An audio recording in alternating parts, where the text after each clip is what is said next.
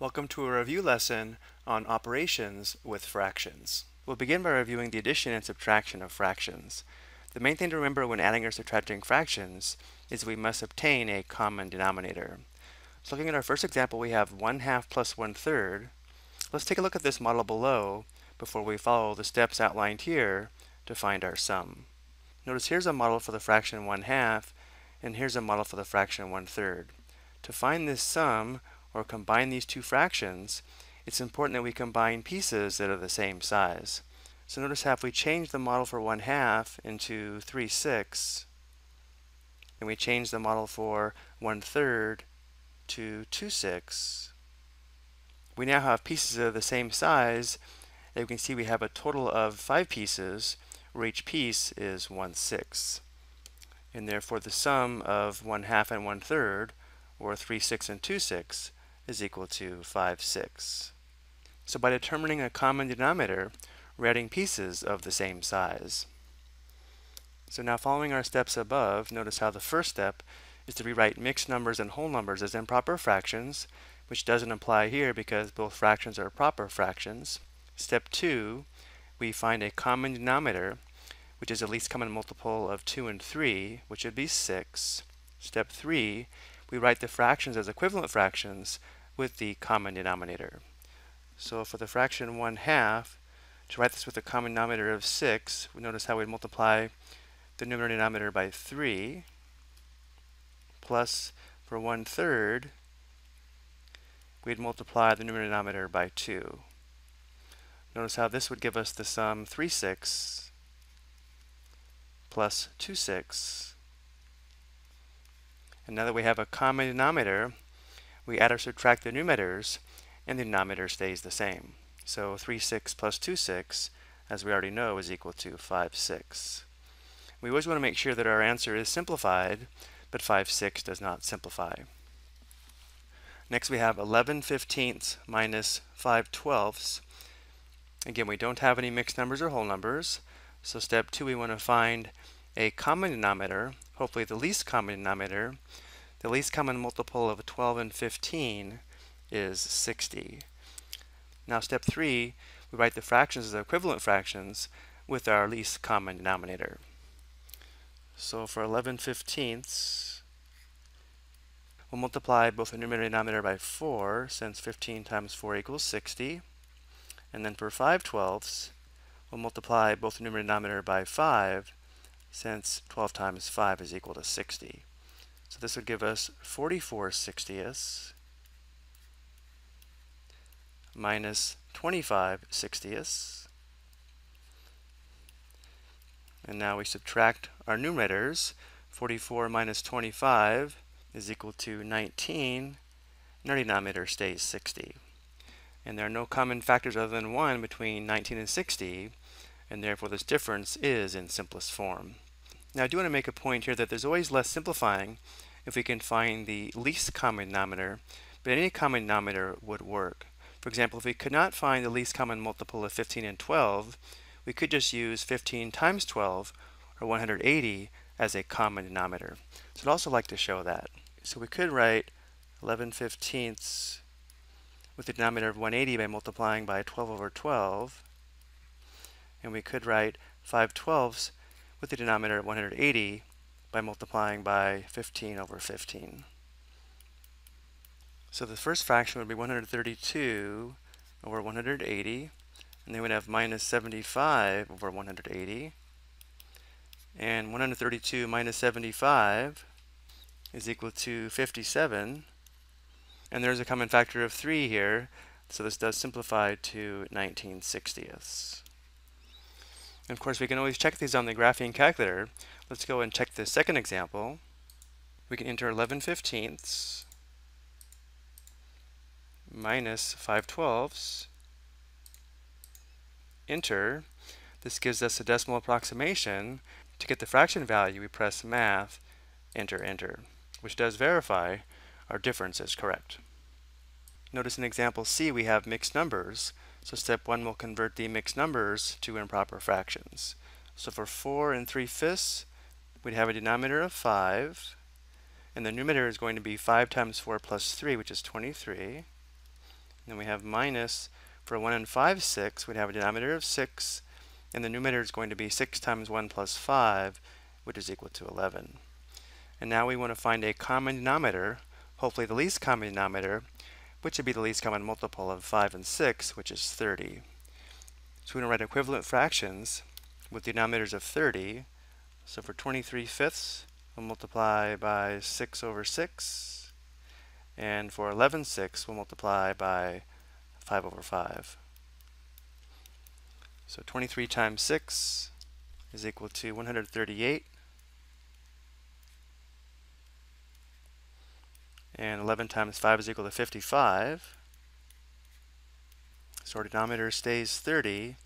And the numerator is going to be 138 minus 55, which is equal to 83.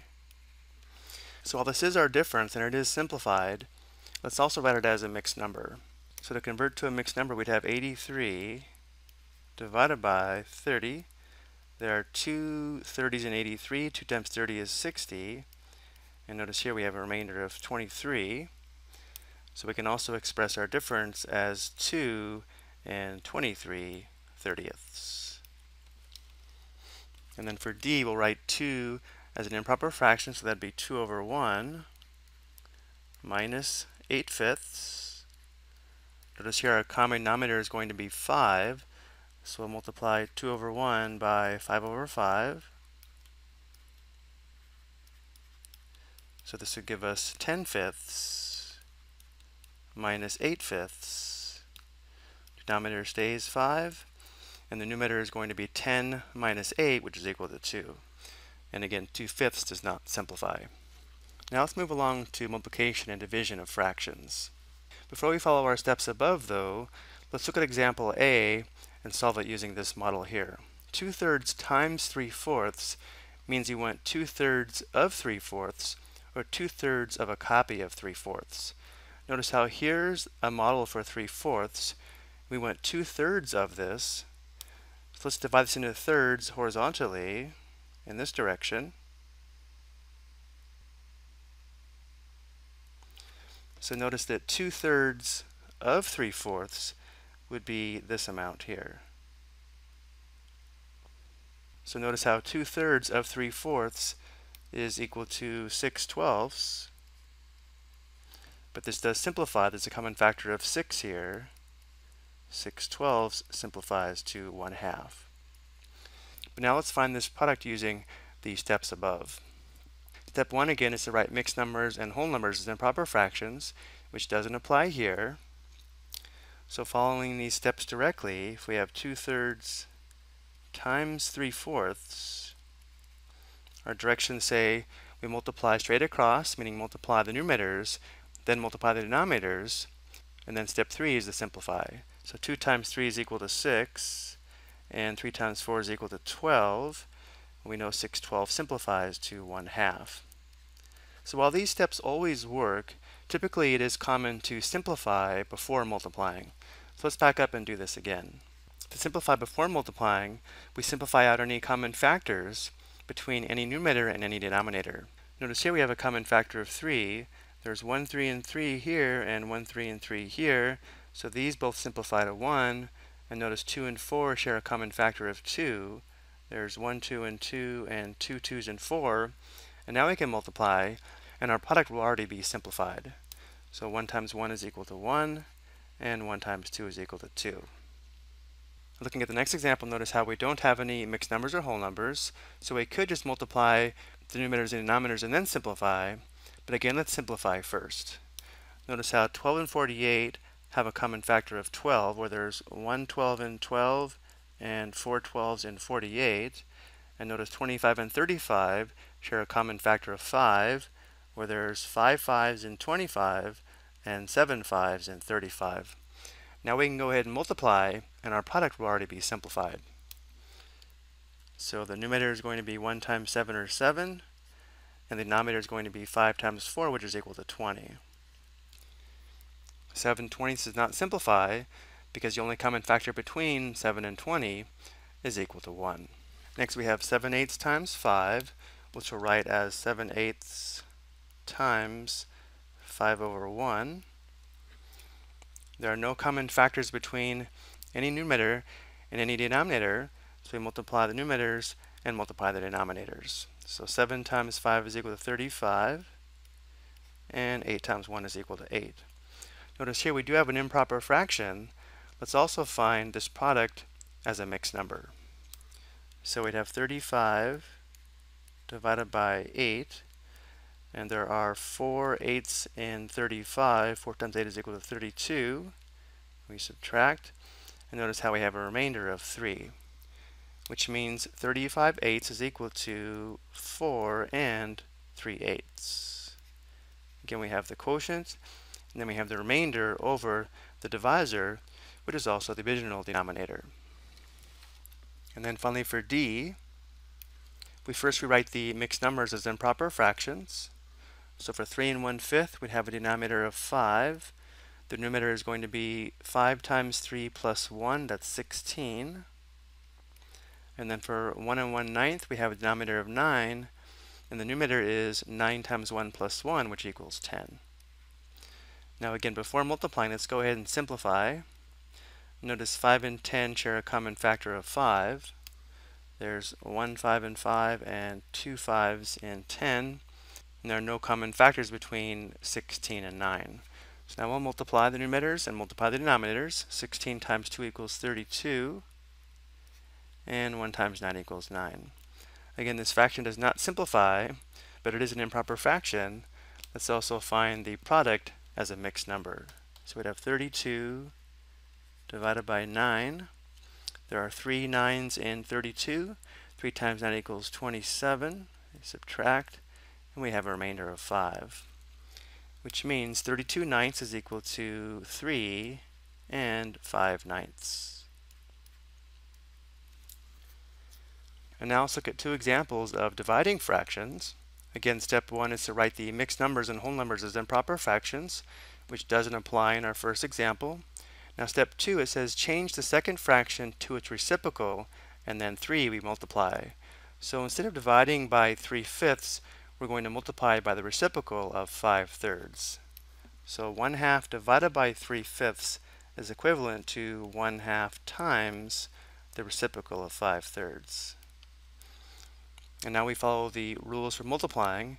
Notice we have no common factors between the numerators and denominators, so we multiply the numerators and multiply the denominators. 1 times 5 equals 5, and 2 times 6 is equal to 6. The division problem, 1 half divided by 3 fifths, is asking us how many 3 fifths are there in 1 half. And because our quotient is 5 6, there are 5 6 3 fifths in 1 half. Next we have 8 divided by 4 fifths. We'll first write 8 as an improper fraction, which would be 8 over 1. And then instead of dividing by 4 fifths, we'll multiply by the reciprocal. So we'll multiply by the reciprocal of 4 fifths is 5 fourths. So we'll have times 5 fourths. And notice here before multiplying though, we can simplify. 8 and 4 share a common factor of 4. There's 1 4 and 4 and 2 4s and 8.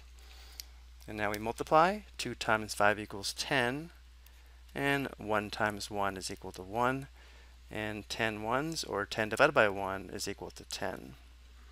So the quotient 8 divided by 4 fifths is asking how many 4 fifths there are in 8, and we found there are 10 4 fifths in 8. Before we go, let's look at one more example. We want to simplify the expression containing fractions using the order of operations. Notice how we have addition and multiplication, and following the order of operations below, notice how we multiply before we add, which means we'll find this product first, but notice how before multiplying we can simplify. Here we have a common factor of 2. There's 1, 2, and 2, and 1, 2, and 2. So when we find this product, we'd have 1 half plus, our product is going to be 3 times 1, which is 3, over 1 times 5, which is 5. And now before we find our sum though, we must obtain a common denominator. The least common denominator would be the least common multiple of 2 and 5, which is 10. So we'll go ahead and rewrite 1 half with the denominator of 10 by multiplying by 5 over 5. And we'll rewrite 3 fifths with the denominator of 10 by multiplying by 2 over 2.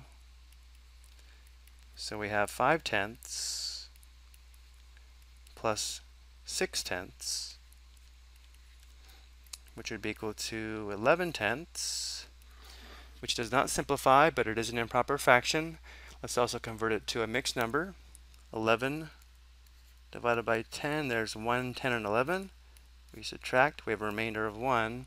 So we can also express 11 tenths as 1 and 1 tenth. Okay, I hope you found this helpful.